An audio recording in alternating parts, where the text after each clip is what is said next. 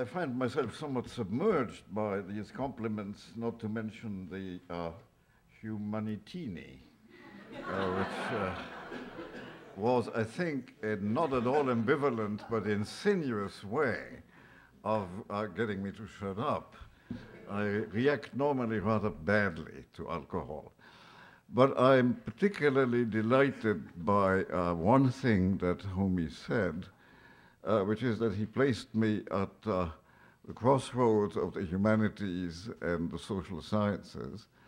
If I may uh, indulge in a confidence, I have temporarily had it with the social sciences, uh, especially given the directions in which uh, they tend to be going. And partly to get a little bit more serious because of the events uh, of this summer. Uh, the war in Lebanon was for me one war too many. And uh, I find it very hard to contemplate the future of international relations uh, with any particular uh, hope, optimism, or, or glimpse of improvement. Uh, so uh, it's wonderful to be adopted by the humanities, especially since uh, in about uh, two months' time I'm going to teach in French a course on Camus, who has been my hero since 1945, and I'm uh, beginning to plunge into his work. And my goodness, after the prose of much of social science these days, what, a, what, a wonderful, uh, uh, what a wonderful change. So I'm delighted, but uh, Camus himself spent half of his complete works, which are now being published in four enormous volumes of the Pléiade, uh, on uh, l'actualité, on current affairs. And his uh, teaching that uh, the writer, the artist, and I'm not an artist, uh, but still, cannot be detached from what happens in, around him and cannot act as if art for art's sakes uh, was the only thing he should be uh, worried about, is uh, a message that I'm still very fond of and loyal to. I'm going to be brief. You all, I imagine, assume to have read my immortal prose, uh, and therefore I'm not going to repeat it. And one good reason why I don't want to repeat it is that I have a sense of having repeated myself since about 1963. uh, the first article I wrote about American foreign policy in a journal which miraculously is still alive, uh, Daedalus, uh, was, uh, was in 1963. Uh, and I have then devoted a whole book uh, called Gulliver's Troubles uh, to American foreign policy in 1968. Uh, then there was a primacy of world order 10 years later. I have dealt with American foreign policy in five collections of essays and since on n'est jamais si bien servi que par soi-même, one helps oneself best. May I mention to you that my last collection just came out and has the cheerful title of Chaos and Violence. uh, 20 articles about the sad fate of the world. And there was a book which nobody has read, but uh, which was about the uh, uh Iraq War called Gulliver Unbound in 2004. Now, the article that uh, uh, is now actually in Chaos and Violence, and which was uh, about American foreign policy, was um, largely written uh, in reaction against uh, the neoconservative wave uh, which submerged America since 2001 and which is not, in my opinion, so much neoconservative as neo-imperialist, and a reaction also against the contribution to this uh, uh, wave by several ex-liberals and by the caving in of many other liberals. My friend Tony Smith, who's uh, here somewhere, uh, I don't see he's hiding here somewhere because Tony doesn't hide. Hi, Tony. Uh, is coming out uh, with a book which is undoubtedly going to produce, uh, oh, you know, the kind of gentle noises which the article by Steve Walt, who is here, and uh, uh, Mearsheimer did recently. But uh, so it was a reaction against the sort of intellectual disaster uh, which uh, we face in the study of uh, um, thought about American foreign policy. And it's a reaction against events, against ideas, against hubris, whose catastrophic effects are, have been visible, in my opinion, practically everywhere. And uh, to be quick, my dissent from uh, what has been America's course uh, in, uh, since the coming to power of uh, George W. Bush is a dissent on, on three fronts realities, priorities, and style. On the realities,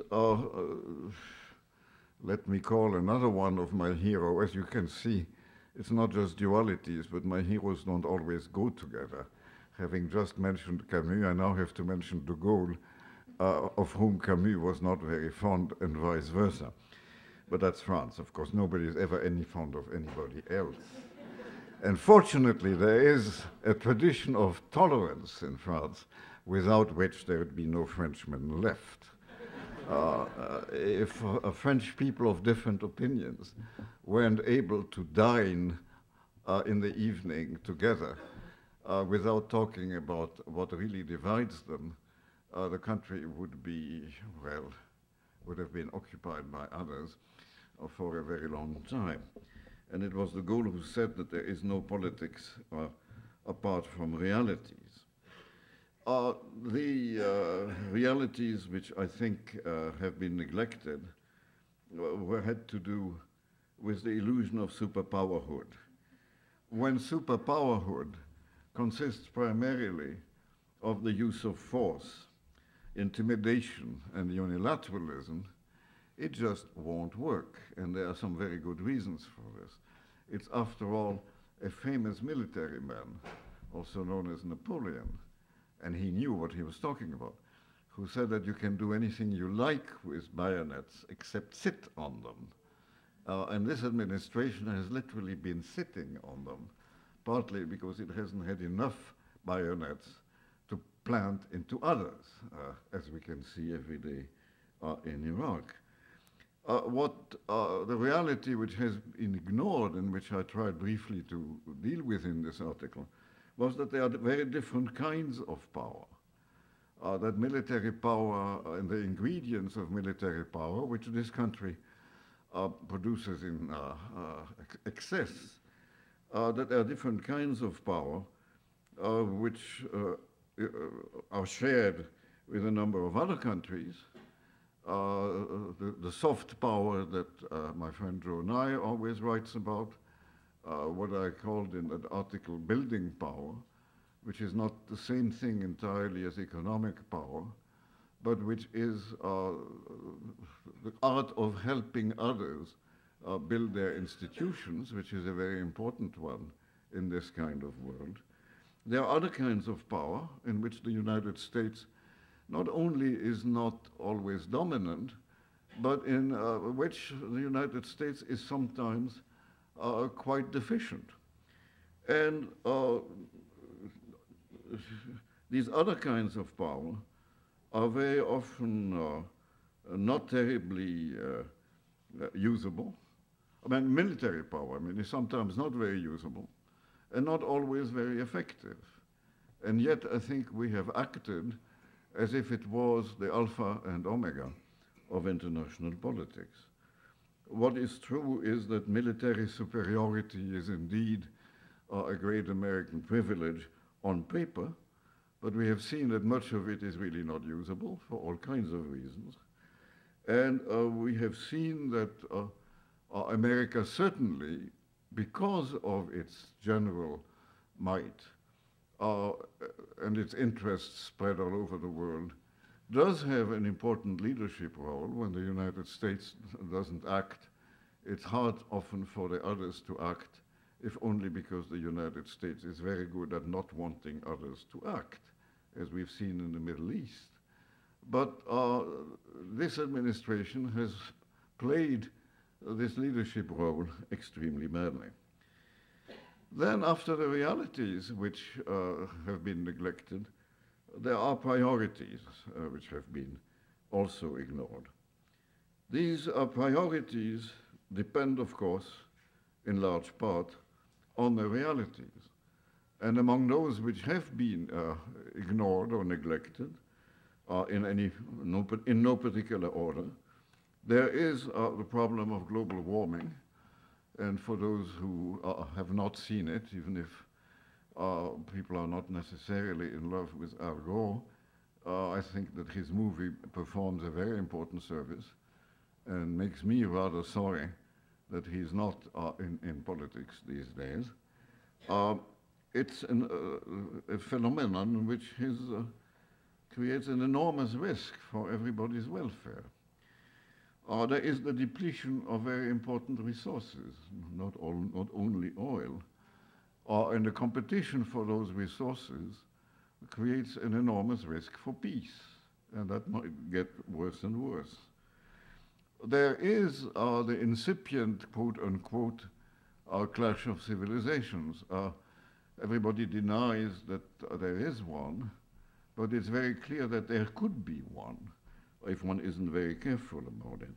And this too is an enormous risk, not only for peace uh, among nations, but also for the internal stability of countries, more and more of them, in which there are important uh, Muslim minorities amidst populations uh, which sometimes uh, treat uh, these minorities rather badly or with profound suspicion. Uh, there are all the non-proliferation issues which um, increase the volatility of the international system and are very, very, uh, uh, very, very hard to, uh, to settle. And uh, last uh, in this list, but not least, the enormous problem of failing states. The state is supposed to be the, the unit of international relations, just as money is our unity for, for daily life. But uh, half of uh, a good half of the states are states by name only, are in uh, different degrees of decomposition and decrepitude. And the problem with uh, failed states uh, is that they have a tendency to turn murderers, uh, particularly on their own citizens. And we have seen this throughout the 90s uh, and uh, this particular decade. And the greatest danger for the world, of course, is when all those neglected uh, priorities are interconnected, as they are in the Middle East and in Africa uh, in particular, and to some extent in Eastern Asia. Among the priorities, in addition to neglected issues which are interconnected, there are some values, and uh, foreign policy, like all policy, uh, is a mix of coping with uh, realities and trying to preserve and promote one's own values. And uh, the three which I think are very important values for the United States and its friends and allies, uh, first of all, peace, obviously. Uh, it's very hard to stop conflicts once they start. Uh, the risks of uh, uh, a conflict beginning and turning in a completely unexpected direction, or ending, as to some extent the one in Lebanon did this summer, with results which were exactly the opposite of what the people who started it had hoped, are very, very great. So peace is a very important value. And when uh, one's uh, own actions, even if they are intended to restore or preserve in the long run peace, if they violate it in the short run, uh, take a very, very large, uh, it's a very large gamble. The second one, of course, is development. It is in nobody's interest to have uh, a world in which uh, the number of both people and countries uh, who are below the line of poverty uh, continues to be as important as it is.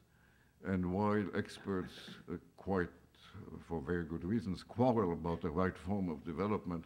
Nevertheless, it is uh, a, a, concern that everybody should have. And finally, uh, not, I would say, as a third value, I don't call it the direct promotion of democracy, because it seems to me uh, that democracy has to come from the inside. Uh, certainly does not uh, consist exclusively of free elections, but it does have to come from inside a country. It's very hard to bring from the outside, uh, but the pressure from the outside in a world which cannot simply leap from one day or even a, a decade to the next, uh, from authoritarianism, uh, brutality, totalitarianism, chaos. I'm thinking about a place like Somalia uh, into democracy, uh, the, what can be asked for is uh, the protection of basic human rights, uh, which can be demanded of very different sorts of regimes, and which would already be a beginning, if only in order to protect the inhabitants of countries, even when they are not entirely free to choose their government, their newspapers, uh, their style of life, and so on. Finally, uh, uh, I, I, do dissent, and that's what the article was very much about, from the style of foreign policy, which this administration, since 2001, has performed, to. I think that uh, sort of uh, passion for, almost drunkenness with unilateralism has been a disaster because what the world needs uh, is exactly the opposite. And one of the things it needs most, and which by definition is the opposite of unilateralism, is a reinforcement of uh, the various networks of international organizations, public and private, uh, which are probably, for this day and age, uh, the closest one can come to an embryonic and messy kind of world government, but which one needs. Uh, and it seems to me that uh, that means at least uh, two things. One is the reinforcement of existing international organizations so that uh, they are themselves made more accountable and more democratic. and there have been various proposals made in this direction, uh, both by, uh, by two people whose uh, names normally one does not associate. Uh, one is uh, my old friend Bob Keohane in recent writings, and the other one is the current French Prime Minister, de Villepin. Uh, so there is this problem of making international organizations more accountable and less uh, hierarchical and bureaucratic in order to reinforce their authority.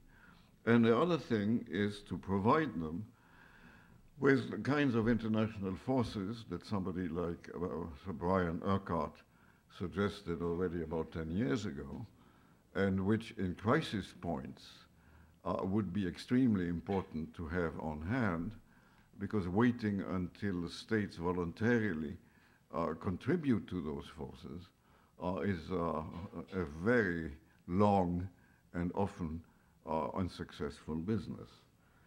Uh, the second, next to this repudiation of unilateralism, is a, a repudiation of the extraordinary degree of militarization of American foreign policy.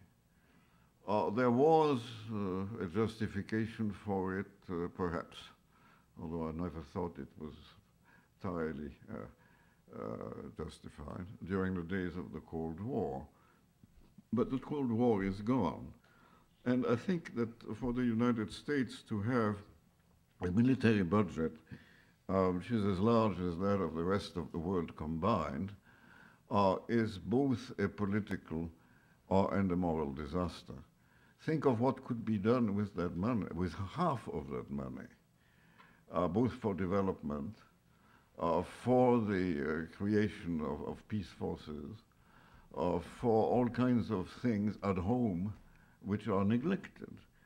And I think this um, degree of uh, uh, pride in, in military power has to be fought, if only to uh, decrease the danger of its use and to redirect resources the way they should be. And finally, uh, in that style, having repudiated unilateralism and militarization, what is absolutely essential and what this administration has been particularly bad at is uh, the search for consensus. Uh, nothing can be done in this kind of a world by fear. This is not a world in which, it's not the world of the Congress of Vienna.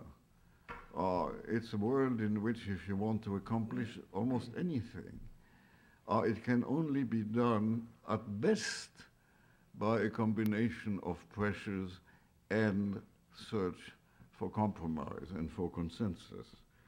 And uh, we can see this in many of the issues I've uh, mentioned, in particular the issues of, of, proliferation. In other words, uh, it's a world which desperately needs uh, not cluster bombs or more types of nuclear weapons, but more, uh, more diplomacy, a word this administration hasn't liked very much. Uh, without diplomacy, nothing can be achieved with diplomacy, it's not sure that everything can be achieved, but what is very clear is that without it, it won't. Um, I'll give you two examples, but I'm sure we'll come back to this in the discussion. One has been uh, the handling of, uh, that's going to not please every, everybody, but such is life, uh, the handling of uh, uh, Hamas after the uh, Palestinian elections.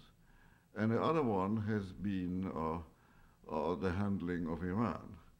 In the handling of Iran, and we are now told, I gather by, is it the CIA I heard on the radio today, that they are not anymore so sure that the uh, Iranians are really uh, aiming uh, on building nuclear weapons. Well, good.